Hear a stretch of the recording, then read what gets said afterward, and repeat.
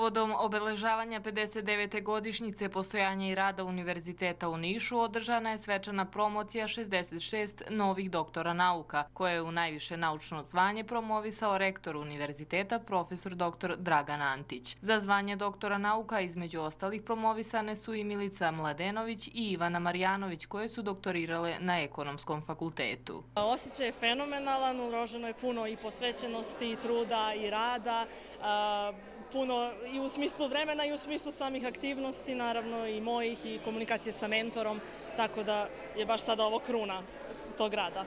Kakvi su dalji planovi? Pa ja sam već u profesorskom poslu, odnosno u nastavi, tako da planovi su dalje u tom smeru. To je jedan vrhunac moje akademske karijere, nešto čemu sam težila još od malena. Jako velika čast biti promovisan u doktora nauka.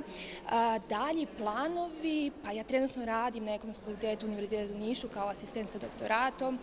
Namere da se savršavam dalje u svojoj oblasti i da promovišem nauku u široj zajednici. Promovisani su doktori nauka sa ekonomskog, mašinskog, medicinskog, pravnog, prirodno-matematičkog fakulteta, filozofskog, kao i sa fakulteta sporta i fizičkog vaspitanja u Nišu, fakulteta zaštite na radu, pedagoškog fakulteta u Vranju i tehnološkog fakulteta u Leskovcu. Dobar dan, pošteni gledalci, dobrodošli. Pratite novi znanje emisije između redova. Prilog koji ste vidjeli je uvod u našu današnju temu. Imaćete priliku da upoznate mlade doktore nauka. U prvom delu emisije gosti u studiju Belami televizije su e, dr. Ivana Marjanović sa Ekonomskog fakulteta u Nišu. Dobar dan, dobrodošli. Hvala što ste ovde. I dr. Dejan Simonović sa Medicinskog fakulteta u Nišu. Dobrodošli. Dobar dan, bolje snašli. Evo, pogledali smo kako je sve to izgledalo na Niškom univerzitetu. Šta za vas znači ova ceremonija ovog tipa? Generalno, u pitanju je zaista jedna velika čast biti promovisan u univerzitetu, jer je to neko svojevrsno priznanje našeg truda i rada tokom svih ovih godina. Zaista je jako zahtevno doći do titule doktora nauka, odbraniti doktorsku disertaciju. Veliki je trud iza toga, dosta muke, rekla bih, mhm. ali e, jako je lepo kada neko sav taj trud uvaži i kada nas ovako promoviše da to možete vidjeti šira javnost. Šta je bila vaša tema? A moja tema je bila više kriterijumski pristup izradi kompozitnih indeksa poslovne uspešnosti banaka. Konkretno, ja sam u oblasti matematike i statistike u ekonomiji i bavim se kvantitativnom analizom. Dakle, pokušavam da e, kvantificiram društvene pojave, odnosno da ih numerički izrazim. Zato što je e, široj populaciji razumljivo kada vide broj kada vide poređenje, jer putem brojeva može nešto da se poredi. Dakle, ovo je bolji, ovo je gori. Tako da je moja težnja bila, budući da samo poslovanje entiteta, u ovom slučaju banaka, može da se kvantificira na različite načine. Postoje različiti pokazatelji likvidnosti, solventnosti, rentabilnosti, profitabilnosti. Dakle, moj cilj je bio da sve to tako grupišem i da dam jednu sveobuhvatnu ocenu koja će obuhvatiti sve te pokazatelje i da kroz jedan broj dakle, dam ocenu poslovne uspešnosti.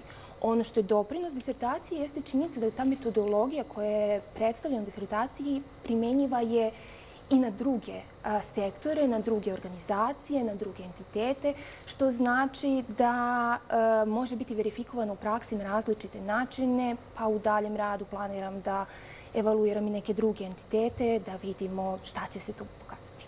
I koliko dugo ste radili na doktoratu? Zvanična procedura je krenula 2016. godine. Međutim, e, ja sam tada rodila dete, tako da je umeđu vremenu malo pauzirano. Mogu da mhm. kažem da je aktivan rad bio dve i po godine. Mhm, znači, tako, prilike. Dobro, e, ono što je činjenica u praksi to je da ljudi nekako sa negodovanjem posmatraju statistiku. Ne vole baš previše statistiku. Govorimo o običnim građanima i kad god e, su u pitanju podaci E, iz određene banke, kamatne stope ili tako nešto, ljudi to gledaju ili recimo neke druge komponente i kažu ja, ovo mi ništa nije jasno.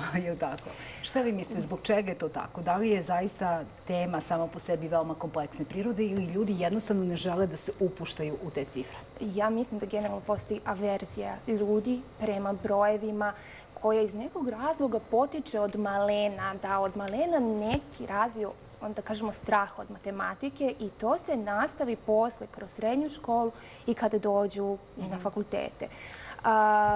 ono što treba tu reći jeste da mi smo sada u eri velikih brojeva, u eri velikih podataka zapravo, u eri digitalne revolucije. Bez brojeva mi ne možemo ništa. Mm. Znači sada postoje sada je zapravo rad sa brojevima i mnogo olakšan, jer imamo razvijene softvere koje mogu da obrađuju. I veštačku inteligenciju. Tako je, tako da sada možemo dosta to da olakšamo. Evo, pomenula sam veštačku inteligenciju, kasnije će ovdje biti vaš kolega sa elektronskog fakulteta.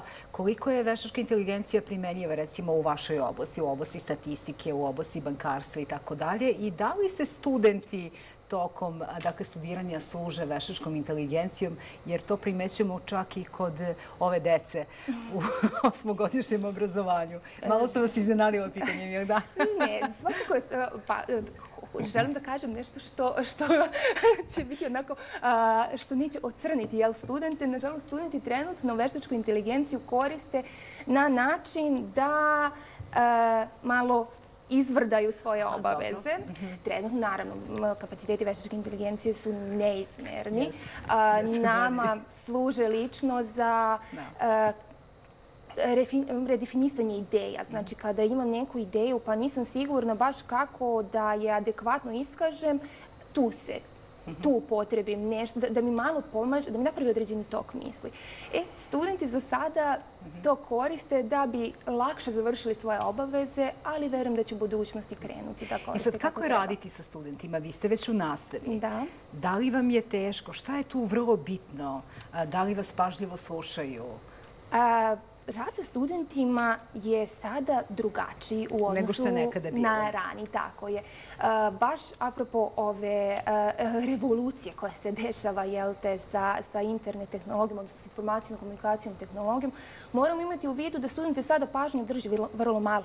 Njima je neophodna interaktivnost. Mislim, svedoci smo toga da i običan video na, na YouTube-u, ako traje više od par minuta, oni neće pogledati. A kamoli predavanje koje traje 45 minuta ako je ex katedra, odnosno ako mi samo pričamo. Tako da se mi zaista trudimo, naročito meni lako, da ih angažujem, da interpretiramo podatke, znači da, da odradimo određenu računicu, a da onda studenti budu angažovani u interpretaciju toga i da na realnim primjerima vidimo čemu zapravo ti statistički, matematički metodi služe. Tako je. Vaš fakultet je poznat po tome e, što vrlo aktivno učestvuje u mnogobrojnim evropskim projektima. Vi također radite na nekim projektima. O čemu se zapravo radi i šta to konkretno može doneti običnom čovjeku u praksi? Da sa ponosom mogu da kažem da Ekonomski fakultet u Nišu trenutno rukovodi sa tri eh, Horizon Europe projekta, što je eh, veliki uspeh imajući u vidu da u oblasti društvenih nauka nije toliko lako dobiti finansiranje Evropske unije. Naše istraživanja trenutno usmerena su, znači jedan od projekata usmeren je na urbanu održivost, gde mi želimo eh, da da neki način kažemo napredimo kvalitet života u gradovima, dok je, eh, to je UR Data projekat i on se realizuje u saradnji sa Univerzitetom iz Osla i Politehnico di Milano iz Italije. I eh, drugi projekat na kojem ja također učestvujem je Cross Race projekat, eh, čije je čiji je cilj da, da ojače istraživanje u oblasti regenerativne ekonomije. To je jedan novi koncept, također usmeren na neki način na unapređenje kvaliteta života ljudi, na unapređenje održivosti, jer evidentno je da smo suočeni sa oskudnim resursima i da bismo narednim generacijama ostavili makar onoliko koliko smo mi imali, mi moramo aktivno raditi na tome. Tako je. Dr. Dejan Simonović, Otkud vi u ovoj oblasti? Da li je to možda, da li je neko iz vaše porodice lekar? Ne. Ne? Dobro, kako? Otkud ljubav prema medicinskim naukama? Pa, eto, znači od uvek sam ovaj... Da kažem, gadocima kardiolog. Tako, tako je, kardiolog iz Instituta Niška Banja sa klinike za kardiologiju, također sa katedre za internu medicinu mhm. ovaj, medicinskom fakulteta u Nišu. Bravo. Kardiologija, mhm. asistent, radim na poslovima asistenta. Ove, što se tiče same medicine i ljubavi, mislim, to je nekako bilo meni urođeno i uvek sam želo time znači, da, se, da se bavim i sva moja neka stremljenja, rad je uvek znači, bio na tu neku stranu, znači ka medicinskom fakultetu, tako da... Da li ste u startu znali da će to biti to, kardiologija? Ili ste te kasnije... Ovaj... Pa znate kako, kroz medicinski fakultet e, vi se susrećete sa raznim oblastima medicine. Znači, medicina je dosta kompleksna. Postoji taj predklinički i klinički deo, tako da mislim da ima znači, dosta prostora i dosta mesa da se svako nađe u medicini i da se bavi nekom znači, oblašću. Neko voli više da radi sa pacijentima, to sam, na primjer, ja i naravno mnogi drugi. Kolege neke više vole da se bave nekom predklinikom, nekim e, istraživačkim e, radom više. Tako da su, to su neka vaša stremljenja, neke preferencije, znači ono što vi volite zavisi od same ličnosti, od osobe, od karakteristika i tako dalje. Dobro ste to rekli, da, vrlo je bitno zašto imate afiniteta. Da. Tako je, ko kakve afinitete ima, ali kažem, sama medicina je dosta kompleksna, puno grana ima sigurno kao ekonomija, tako da ima prostor i svako sebe može da nađe u ovaj nekoj grani. Ja sam eto, igro slučaja zavolao kardiologiju, naravno na fakultetu, tako da... Ko mi je bio mentor? Pa što se tiče mentorstva za doktorsku dizertaciju. To je profesorka Marina Deljanin-Ilić, direktor mhm. našeg instituta. Sarađujemo već više sigurno desetak ovaj, znači, godina. E, ona je ekspert iz oblasti ehokardiografije i mentor je izuzetno znači, bitan kod usmeravanja svojih e, kandidata. Djelte mhm. kod odabira teme. Tako da i ona kroz našu interakciju, svakodnevnu saradnju i kliničku i naučnu, razgovor i tako dalje, konekcije sa ljudima, kolaboracija je izuzetno znači, bitna, saradnja sa drugim znači, centrima. Mi smo tu donali odluku da se da ta moja tema koja je naravno uspješno odbranja prošle godine je bila uh, značaj parametara dijastonog stresa ehokardioskog testa kod pacijenta sa srčanom insuficijencijom, sa očuvanom ekcijnom frakcijom. Znači, ovaj, tema ovako delo je dosta kompleksno, ali da bismo pojednostavili vama i našim ovaj, gledocima, to je znači oblast i to je ono od čega naši ljudi najčešće boljevaju u Srbiji i najčešće umiru, to su koronarna bolest, odnosno srčana insuficijencija i tako dalje i tako dalje. Dosta kompleksna tema, zahtevna, dosta smo mhm. dugo radili, 6 do 8 godina, između 6 do 8 godina. To sam htjela da vas pitam, da, koliko dugo ste radili? E, pa radite onoliko, znači koliko vam treba vremena skupite pacijenta, tako. Mhm. Znači, po proračunima. Da, to je pravi sraživački rad. Tako je, tako je.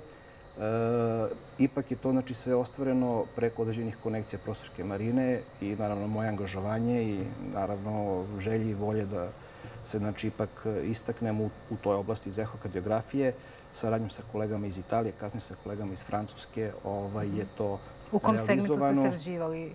Razmeni iskustava, šta? Ne, razmeni iskustava, znači kompletno, znači od samog znači, početka, mhm. rada sa pacijentima, izvođenja diagnostičkih procedura, formiranja baza podataka, statističke obrade, publikovanja radova i tako dalje. Dosta jedan, znači, doktorska dizertacija mhm. je danas jedan izuzetno ozbiljan projekat, mhm. traži zaista veliko angažovanje, dobru organizaciju, da to sve bude dobro ovaj, znači, osmišljeno u pravom trenutku kako se ne biste vraćali nazad i tako dalje i tako dalje. Radite sa ljudima, dosta je zametno i teško, tako da... I vrlo bitno objavljivanje tih naučnih radova. Ne znam koliko su gledoci svesni toga. Što se tiče objavljivanja i publikovanja radova, iz moje doktorske dizertacije, šest ili sedam radova na sci listi u najznačajnijim evropskim i svetskim časopisama sa izuzetno visokim impact faktorom. Ukupni impact faktor je sigurno preko 50-60, mhm. što je danas veoma teško ovaj, znači, uraditi. Ali kada na samom početku ovaj, u kliničkoj medicini radite nešto, to mora da bude nešto novo, mora da bude nešto inventivno,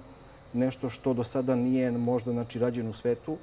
I mi smo to uspeli znači, kombinacijom ultrazvuka, tog dijastonog stresa eho testa, plućnog ultrazvuka, primjenom najnovnijih sofera, obrade podataka, uz naše veliko angažovanje mi smo ipak evo uspeli da danas, naravno, da to formulišemo kroz doktorsku dizertaciju, ali kažem opet, to je mali deo jednog mnogo većeg projekta. I bez kolaboracije, bez znači, te mhm. široke saradnje, moje neko mišljenje da u medicini, pogotovo u kliničkoj medicini, teško može se doći do nečega što je novo. Znači, obavezna je saradnja sa drugim centrima. Biće vam lakše. Da li danas teže ili lakše raditi sa pacijentima? Pa ja mislim iskreno, ovo je ovako, kako da vam kažem, Meni je lakše, jer ja se bavim medicinom od 2007. godine, znači, zahvaljujući jednom dugogodišnjem radu i velikom, mislim, velikom iskustvu, meni je lakše i jednostavnije. Ako me pitate za zdravlje nacije, za zdravlje pacijenata, mislim da posle ere COVID-a smo u situaciji da imamo sve kompleksnije i kompleksnije slučajeve i veći broj pacijenata.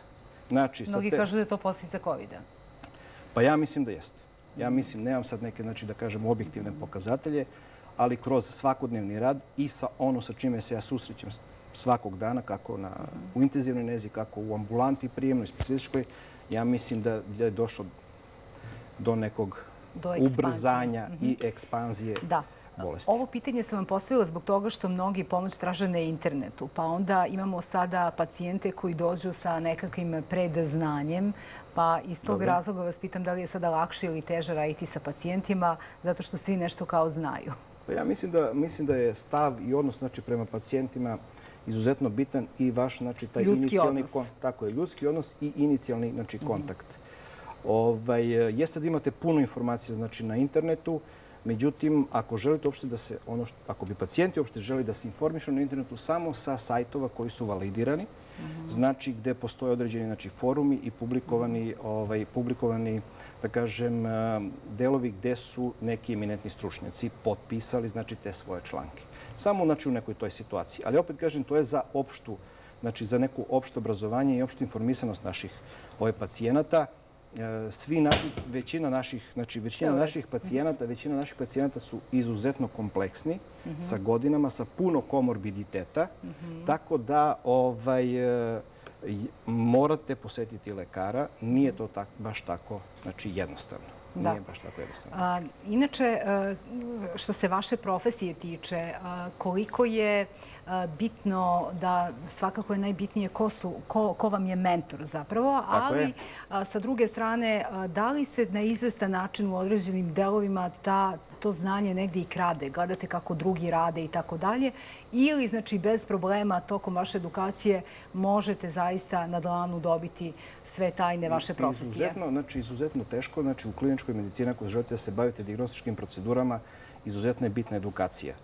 Ako želite znači, nešto novo, uglavnom morate da idete znači, u neki viši centar ili znači, u Srbiji ili van, znači, van zemlje. Zahvaljujući znači, mom institutu, menadžmentu i profesorkoj Marini koja me poslala na, na boravak znači, od nedelju dana u, u Italiji, u Peruđi je bilo znači, u njihovom kliničkom centru gdje smo ostvarili saradnju sa kolegama znači, iz Italije i tog plućnog ultrazvuka, a i naravno naš centar je poznat ovaj, kao centar koji se bavi neinvazivnom znači, diagnostikom sa dugogodišnjim iskustvom u ovaj, stres ehokardiografiji. Također nabavkom, znači nabavkom, znači morate da imate podršku menadžmenta, odnosno znači kuće u kojoj radite, nabavkom izuzetno znači skupocene opreme i plaćanjem izuzetno skupocenih softvera, ovaj, vi dobijete mogućnost da se bavite time. Znači, bitan je mentor, bitna je podrška mentora, bitna je podrška instituta, bitna je znači, vaša volja i želja i naravno ovaj, znači, velika energija. Ako to uspete znači, da ovo iskombinujete ako ste uporni, vi ćete sigurno, vi ćete sigurno uspjeti. Ali opet kažem, izuzetno težak i naporan put. Ne da ne plašimo znači, nikoga, da, da, ali ako volite nauku i volite time da se bavite, naravno, to je Da, potrebno je dosta truda, dosta rada. Kažete mi gdje sebe, gdje sebe vidite u nekoj bliskoj i dalje budućnosti pa, u nastavi?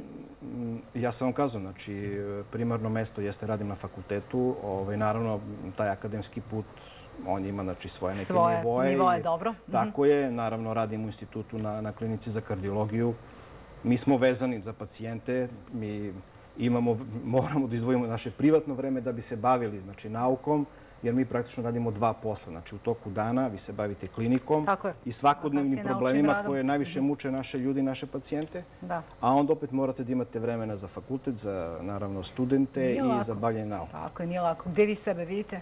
A, u nauci fakultetu, i u nastavi mm -hmm. također.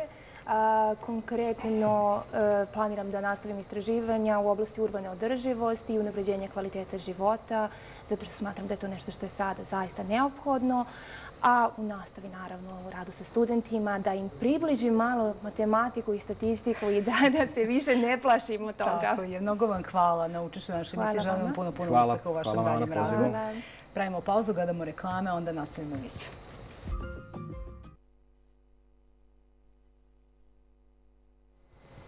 Dobrodošli nazad, pratite emisiju između redova. U nastupu ćete upoznati još dvoje doktora nauka.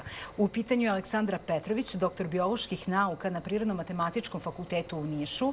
Dobar dan, dobrodošli. Hvala što ste ovde. I doktor Aleksandar Jovanović, doktor nauka na Elektronskom fakultetu u Nišu. Dobrodošli, Aleksandra. Da krenemo, Aleksandra, od vas. Evo, Prirodno-matematički fakultet. Otkud interesovanje, recimo, za biološke nauke? To je moja ljubav iz detinstva zapravo. E, I to je nauka koja može da spoji sve nauke zapravo. Ako želite da se bavite biologijom, morate da znate i fiziku, i hemiju, i matematiku. I to je jedna kruna nauka. A pogotovo oblast kojom se ja bavim, to je fiziologija. Fiziologija životinja zapravo, konkretnije. E, tako da tu tek treba znati sve ostale nauke. Jer je to e, sažimanje, funkcionisanje organizma, ne samo ljudskog organizma, nego svih životinja, tako da je jako bitno. Onda možemo doći do zaključka da to nije ni malo lako, da je to prirodno. Nije, da. Da, da, prilično težak fakultet, je li tako? I teška oblast, da tako gaš? Da, s tim što se naš fakultet ne bavi samo fiziologijom. Tu postoji mnogo više drugih različitih oblasti. Tako je. Na jednoj strani su ekološke nauke, onda postoje botaničke nauke, zoološke nauke. Ako se osvrnemo samo na stati, pručavanje životinja kao posljednjih mhm. organizama i posebno molekularna biologija i fiziologija. Još uvijek nije podeljeno, ali smo se nekako grupisali po tim grupicama. Koliko dugo ste vi spremali vaš doktorat? E, spremanje samo da bi se otpočeo eksperiment, pošto se radilo na eksperimentalnim životinjama, bilo je potrebno dve godine pune. Samo da se pripremi. Samo priprema da, tog samo projekta. Priprema, da. E, tu, se, tu su uključene i e, razgovori sa e, ljudima, pronalaženje ko će gde, kada, šta da odradi i na kom mestu, jer nemamo toliko uslova za ovakav vid istraživanja, pa smo često sarađivali sa medicinskim fakultetom. Mhm. Veliki i... Interesantno. Da, zato što se tamo i nalazi... Životinje? To, upravo hoću da kažem. Tu se nalazi institut koji pokriva taj deo istraživanja, odnosno tamo je e, institut za biomedicinske istraživanja. Tako da je eksperiment odrađen na tom mestu uz neke dorade na prirodno-matematičkom fakultetu. Evo, otvorom mi brojeve telefona za pitanja gledalaca s obzirom na to da je uvek drugi deo emisije rezervisan i za gledalce, ali bih žela da kažete možda neko misli ko nas prati ovog trenutka da je veoma lako i odabrati temu i spremiti doktorat i tako, ali to nije ni malo lako. Treba biti inovativan u tome, treba naći dobru temu i dobiti podršku za određenu temu. Je li tako? Objasnite malo to gledalcima. Za nas je sve to negde imaginarno. E, da, e, prvo e, da pomenem da jeste teško odabrati koja tema, kojom ćemo se temom baviti, jer evo, na primjer, moja tema je uticaj biljaka na diabetes izazvan kod pacova kao laboratorijskih životinja i da se prate da li postoji, da li će njihov uticaj biti samo na diabetes, na snižavanje nivoa šećera u krvi ili na Uh, sekundarne komplikacije, jer diabetes kao... To baš zvuči interesantno, da vam kažem. Dobro. Jer diabetes kao uh, problem... Bolest koja uzima sve više maha. Ne samo da preuzima više maha, pardon, uh, već je to sistemska bolest. I uglavnom se u medicinske svrhe bave snižavanjem nivoa šećera u krvi. A niko ne vodi računa o tome da ako... Ne samo šta je uzrok, jer postoje različiti tipovi diabetesa, ali o tome da ukoliko se ne tretira na vreme, može dovesti do promene na bubrezima, na jetri ili čak kod starih osoba do Alzheimerove bolesti može se dovede. Tako da potrebno je vrlo e, rano početi sa tretmanima i E, često je problem kod lekova koji se koriste za diabetes. Imaju mnoge nuspojave ili ne pokrivaju sva ta gledišta. Tako da, e, evo, moja disertacija se upravo bavila time da se nađe neko alternativno rešenje koje bi bilo dopuna postojećoj terapiji ili bi se primjenjivala pre, kada se otkrije da može da postoji rizik za pojavu diabetesa, pa da ne bi se dalje razvio. Tako je. Vidite, vi radite na fakultetu. E, da, kao istraživač saradnik i angažovana sam u nastavi. Ali hipotetički da ne radite. Mislite li da u oblasti znači, medicine, u oblasti privrede, postoji interesovanje za mlade naučnike koji, koji bi se bavili raznoraznim temama. Evo, prijetno ste mi iznenadili vašom temom. jer su zaista ovaj, takve istraživanja potrebna. Ali da slučajno ne radite na fakultetu, gdje biste vi uopšte našli posao e, to je veliki, kao doktor nauka? Veliki problem za oblast kojom se bavi, bave moje kolege. Ako ne radimo na fakultetu, možda na nekom institutu, e, uglavnom su instituti u Beogradu, ali kod nas ne postoji. E, bila je potencijalna priča da će se otvoriti institut. To je još uvijek u proceduri u Nišu, mhm. ali opet kažem, u proceduri je ništa nije... Ovaj, Nažalost je tako. Znam da postoje kolege koje rade u laboratorijama, privatnim, medicinskim laboratorijama, ali to su mikrobiolozi uglavnom. Mhm, da, a ima dosta sada privatnih takvih ordinacija. Vratit ćemo se kasnije na tu priču i da li država Srbija ume zaista da, e, da tako kažem, u pozitivnom smislu iskoristi doktore nauka za razne istraživanja, da ih zaposli i da ih motiviše da ostanu u Srbiji. Sada prelazimo na elektronski fakultet. Šta je, Aleksandre, vaša bila tema? Koliko dugo ste vi spremali vaš doktorat? Znači, moja tema za doktorski rad je bila e, razvoj virtualnih svetova za primjenu u edukaciji. To sam počeo da radim 2018. godine. E, pre toga sam imao ispite koje sam trebao da završim na doktorskim studijama i onda sam kasnije izabrao mentora i onda sam krenuo sa pisanjem radova. I te, te, te radove koje sam pisao, oni su bili usko vezani za, na kraju za moju doktorsku disertaciju. Uh, doktorska disertacija je, da kažemo, spoj teorijskog i praktičnog rada. Znači, moj, moja tema je bila dosta praktična i uključivala je i krajnje korisnike, ljude koji bi testirali tu našu aplikaciju koju smo radili. A aplikacija je u principu virtualni svet. To je, kažemo, 3D aplikacija za više korisnika. Nešto narik Fortnite u Robloxu, tako nekim, kažem, igricama.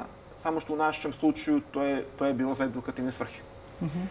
Ali možete kasnije da prodate, verovatno, tu aplikaciju, da ne?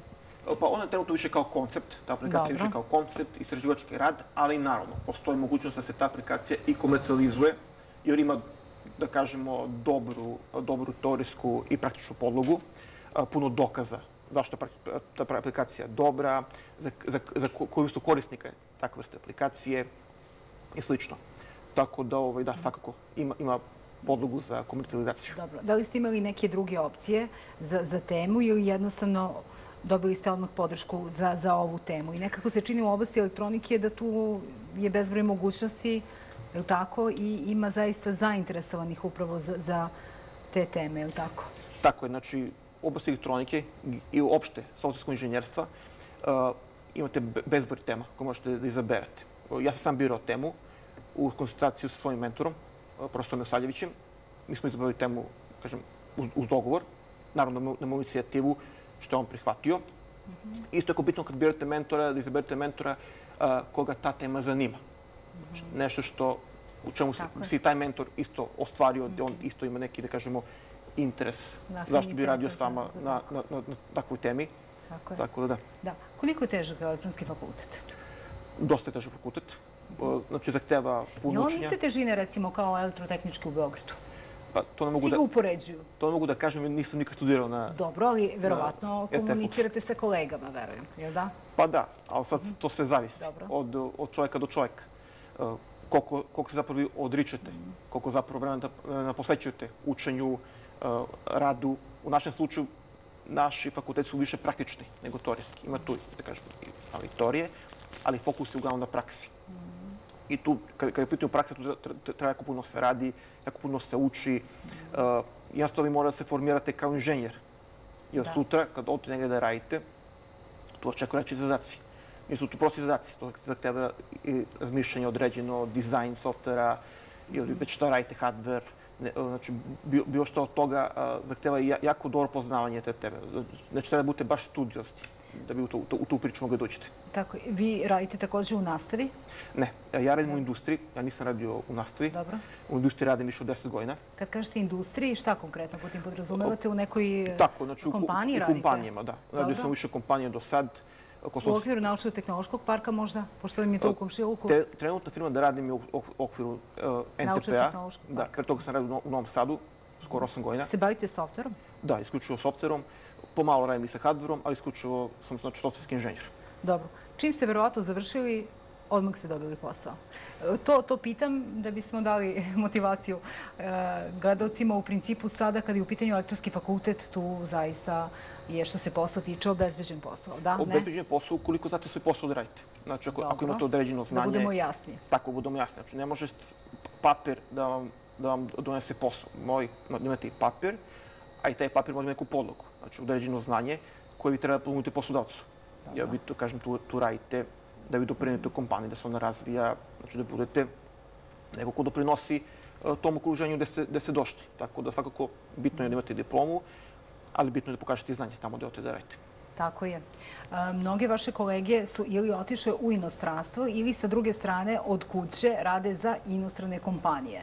Šta vi mislite o tome? E, da li, da li, šta bi država trebalo da uradi kako bi zapravo motivisale motivisala ljude da ostaju u zemlji, da ostaju u Nišu.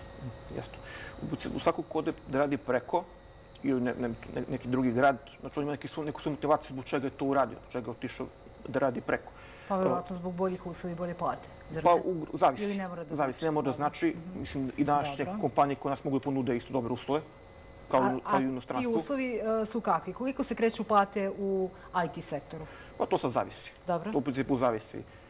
Znači, ja sad ono, mogu okvirno kažem ti od 500 eura pa najviše. Znači, za početnike pa zavisi... Pa do 4-5 hiljada pa eura sigurno. Koliko imate znanja. Tako znači, koliko imate znanja. Je to za vas sasvim korektno, ok, ako više znate, već vam je plata. Pa mislim da je korektno. Znači, ko ima znanje i pre svega, ne samo znanje, i socijalne veštine.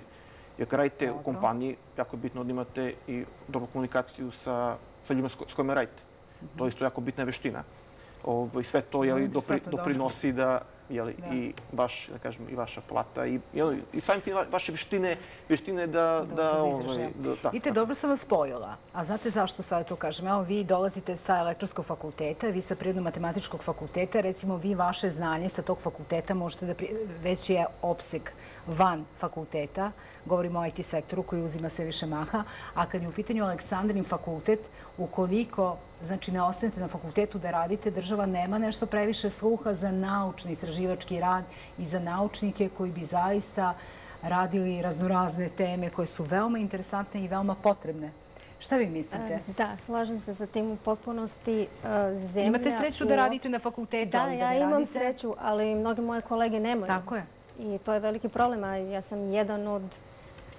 Evo, kad sam ja upisivala doktorske studije, bilo je nas je sedmoro. Mhm. Ja sam jedina koja je ostala iz te generacije. Mhm. Tako da sedmoro ljudi koji bi, ne znam da li su završili sada da ne pričamo o tome, ali oni nisu ostali na fakultetu. Čak i da jesu završeni. Mhm. Možda ne rade nigde. Stvarno nemam tu informaciju. Uh, ali uh, zemlju vrlo malo uh, ovaj, novaca izdvaja za ovakav vid istraživanja. Izdvaja stvarno veoma mali fond, a nama, evo, konkretno ovo istraživanje je bilo dosta skupo. Potrebno kupiti hemikalije, obezbediti životinje. A ko to izvinjam se? To fakultet ili vi? Delom fakultet, i to vrlo mali deo, a delom ja. Tako da ovo, ova disertacija je bila skrona iz štapa i kanapa koje je imao da, da mi pomogne. Uspeli smo na taj način. Mhm. Tako da to je bila E sad, da li kod vas isti slučaj kao sa medicinskim fakultetom, da stalno morate da objavljujete vaše istraživačke radove u inostranim časopisima i da u zavisnosti od toga u kojim časopisima se vaši radovi pojavljuju, zavisi uh, kakav ste vi stručija, kakav ste vi naučnik. Tako, tako je, zavisi od citiranosti, od uh, visine, od nivoa časopisa. Koje, postoji kategorizacija po M20, pa N21A je najviša kategorija i sve zavisi koliko poena vuče. Od toga će zavisiti i da li će mu se promovisati u naredno zvanje, jer mora da se osvoji dovoljan broj poena. S druge strane, e, ako nije dovoljno citiran, onda spadamo sa liste, nismo dovoljno dobri naučnici, a pritom e, citiranost ne predstavlja validan parametar za to kakav smo naučnik. E, recimo, iz jednih oblasti je produkcija radova mnogo brža nego iz drugih oblasti. E, Primer, iz moje oblasti je potrebno dve godine da se samo objavi rad. Zajedno sa pisanjem i sa recenziranjem, jer u visokim časopisima recenziranje ide dosta teško. Mhm. Nije da se samo pošalje rad i mhm. da to bude objavljeno za nekoliko dana. Ja sam čekala šest mjeseci da se objavi moj rad. Da.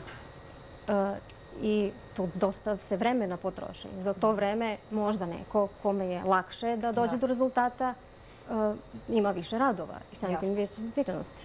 A da li, da li, Aleksandra, učestvujete u nekim međunarodnim projektima? Evo, vaša kolegnica sa ekonomskog fakulteta je kazala da je ekonomski fakultet veoma aktivan u tom smislu i da vrlo često i studente aktivira na, na određenim projektima. E, da, učestvovala sam kad sam krenula, sa, kad sam upisala doktorske studije, ali taj projekat bio medicinski, sa medicinskog fakulteta. Zapravo, e, svi fakulteti, više fakulteta bilo angažovano i onda sam bila angažovan i atom. Ali se ubrzo završio i nakon toga nije bilo mogućnosti. Bilo je e, moguće aplicirati prošle godine, ali moja ekipa nije dobila, mhm. nije prošla recenziju. E, ali u budućnosti planirate, jel da? Naravno. A koliko je to e, učestalo da se naučnici iz Srbije, mladi naučnici, aktiviraju zajedno sa drugim kolegama iz Evropske unije u nekom projektu i da to je to praksa?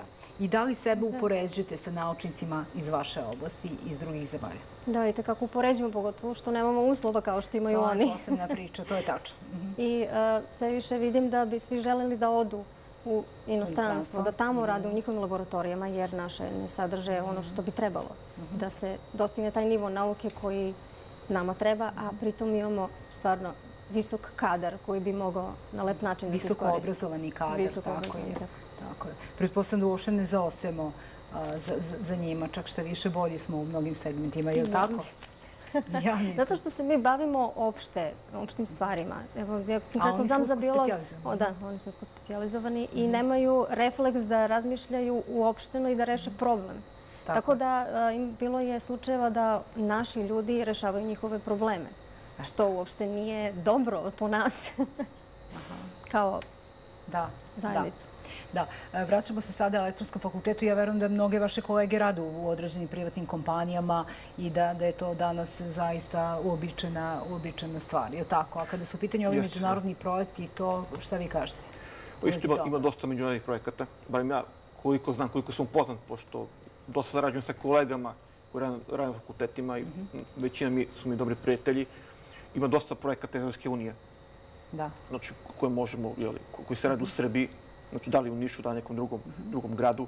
Tako da, da svakako mislim, naši ljudi isto i nauke isto mogu puno dopre, da doprinesu. Tako. Ne samo, da kažem, na polju industrije, već i, i samog istraživanja. Tako je. A, kako su vaše saznanje? Da li je veliki broj e, elektroničara otišao u inostranstvo? Ili se sada ta cifra ipak smanjuje? Ja bi se ta cifra smanjila.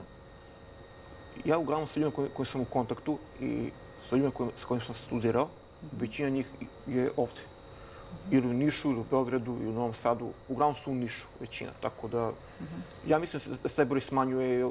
Danas kod nas imate... Zbog boljih uslova. Dosta, da, bolje uslove i... Nego što, nego što je nekad bilo. Gde vi sebe vidite u nekoj bliskoj i daljoj budućnosti? Pa, u principu, mislim, taj sam doktorat... Da li je dobro planirati ili nije dobro planirati? Pa, šta, treba planirati kratkoročno. Znači, treba biti realan sa svojim ciljima što želite da postignete. Znači, kada ćete završiti doktorat, e, koji imate plan uglavnom kasnije u karijeri. Ako radite u nekoj kompaniji, to dogovarate sa ljudima iz kompanije svoje ciljeve. Znači, ništa možete planirati unapred sami bez toga. Isto zavisi od toga, od celog tog, da kažem, e, sistema. Neke kolege zavisi, možda nešto svoje žele da pokrenu. Znači, danas imamo isto, danas, da kažem... Veliki broj kompanija. Tako, danas i država mi se pomaže da nas pojedince da pokrenu svoje start-upove. E, dobro, to je dobro to Tako da, to je, mislim, to je moguće. Ako imate dobru ideju koja je potkovana dobrim biznis planom, što pre svega biznis plan je tu, da kažemo, krucijalan, je uglavnom e, te aplikacije gledaju stranci, ljudi sa strane, ljudi koji imaju dosta iskustva u biznisu, tako da ono, ako, ono, mislim, preko države može da se dobije neka pomoć. Nije, nije nemoguće. Ne dobija svako, ali treba biti uporan. Jasno. Da li država pomaže naučnike iz vaše oblasti? Iz moje oblasti mhm. konkretno vrlo redko. Vrlo redko, da. A nemoguće da recimo osmislite nešto što biste mogli privatno da radite sa vašim znanjem? Mm, privatno, da, teško. Kao recimo Aleksandar, da. Teško je upravo zbog mašina koje su nam potrebne. Mhm. To su uređaji koji se koriste u medicinskih svrhe. Nemoguće kupiti osoba privatno da eventualno ako otvori neku laboratoriju, ali opet mhm tu je dosta novca potrebno. I problem je koje bi usluge pružale te laboratorije. Mogle bi da budu samo biohemijskog tipa. Da. Tako da to je jedino ostalo teško. Pomenuli ste u jednom trenutku institut u smislu da su vaše pojedine kolege otišle u Beograd kako bi radile na određenom institutu. Nažalost, osim instituta za javno zdravlje, mi ovde nemamo ni jedan institut u Nišu, ali hipotetički kada bi bio otvoren neki institut, onda bi bilo dosta posla upravo za ljudi iz vaše oblasti, je li tako? Šta vi planirate? Evo, pitala sam Aleksandra da pitam i vas kakvi su vaši planovi u bliskoj budućnosti i dalje? Jeste li iz Niša? Da, ja sam iz Niša. U bliskoj budućnosti da se zadržim na ovom mjestu. Sad mi je u proceduri naučno zvanje, tako da ću ići tim putem. Jeste nastavi? Naučno zvanje, kažem. To je kao ovaj deo nauke, ali stvarno bih više voljela da sam u nastavi, jer to je opet, kao što je biologija, moja ljubav nastava je također moja ljubav i razgovor sa studentima, jer volim da menjam ljudske umove. To je jako bitno kao nastavni kadr. Ali to je želja. Biće, bitno da želite za početak. Mnogo vam hvala na učešću u današnjoj emisiji. Želim vam puno uspeha u vašem daljem radu i da osvojite vaše ciljeve i vaše želje. Hvala vam, pošto gledosti i pratili ste emisiju između redova. Osvijete i dalje uz program Belom i televiziji. Prijetno.